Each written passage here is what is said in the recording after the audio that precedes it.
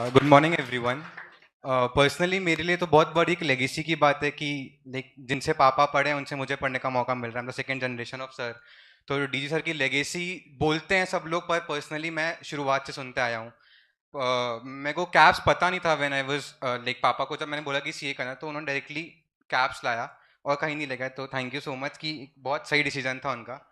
And uh, मतलब एक week लोग में पवन सर ने कहा था कि वी ऑल्सो टीच सी है वो टैगलाइन ऐसा बोल रहे थे। तो चीज़ कहीं ना कहीं सही है कि एकेडमिकली तो जो है, वो है।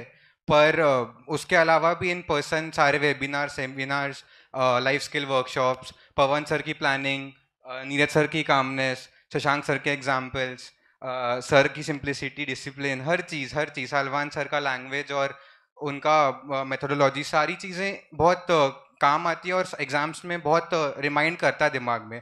शशांक सर के एग्ज़ाम्पल तो सही में लॉ में लिखते लिखते था कि शशांक सर की आवाज़ गूंज रही थी कानों में कि हाँ वो ऐसा बोलते थे।